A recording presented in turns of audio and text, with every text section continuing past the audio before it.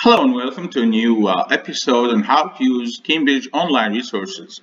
Today we discuss how to use Cambridge One. It's a new platform that Cambridge University has developed in order to uh, integrate all the e-sources in one website. The website you have to look into is cambridgeone.org slash home. So this is the first page or the uh, uh, front interface of the website.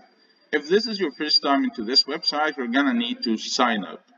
Signing up into this website, you have three options, whether you're a learner, teacher, or parent. So in our case, if you're a teacher, you should choose teacher. Click next. In order to sign up, you have three uh, options, either to sign up using your Facebook account, Google account, or entering your data. So for example, I'll try using my own credentials. All right.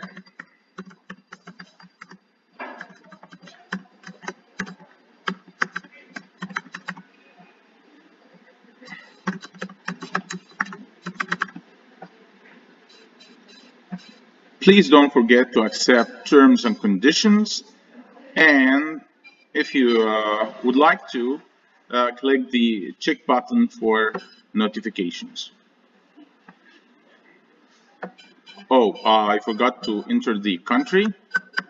So the country is Egypt in my case. Accept terms and conditions and sign up is going to send you a verification email. So right away you go to your email to check. They're going to send you a link. All right.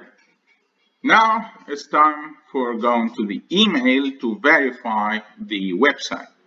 So I opened my email. I found that I received an email from uh, cambridgeone.org. Just click verify is going to take you right away to uh, the verification, uh, the, uh, the Cambridge One page. Once you enter, right now we haven't used any keys so far. The website have automatically generated a class key. This is very important for you and for your, uh, in order to uh, pass on to your students if you're going to have something mutual on the uh, website. So you have the class data, which is students' names and scores, assignments, and material. In our case, we're going to click on material. You have here two types of materials. Ones that will require you to enter a generation code and ones that are available for free. The only one that's available for free here is the Practice Extra. Uh, this is uh, this will give you access to some activities that you can use in class. For example, here you can play a video and answer games. Hello, Hello everyone. everyone. I'm, I'm Derek. Welcome, Welcome to, to, the big question. Today's big question is What is a family? Let's find out. This is Bob. Hello, Bob. Okay. So I got two correct answers out of five. Not too bad. I can try again sometime later. But the most important part on this web page is the Presentation Plus feature. Once you click it, it's one of the resources that will require you to enter a verification code or activation code. In this case, you're going to use the codes that the company sent you. So you enter the code here, then click Activate. Once you activate, um, it downloads the software that you're going to install to your computer.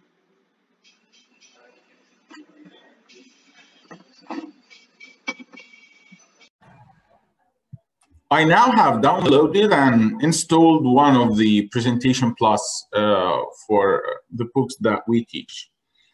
First step is to click record like the one I've done right now and click uh, Cambridge Little Steps, the presentation plus share screen.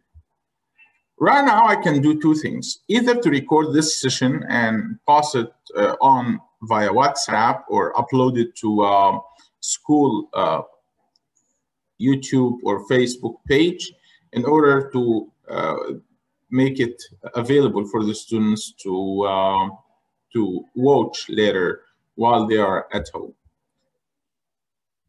This interface is highly interactive, so uh, you click the unit, you can surf through, through the unit, or you can play the unit videos like the one you have here. Okay.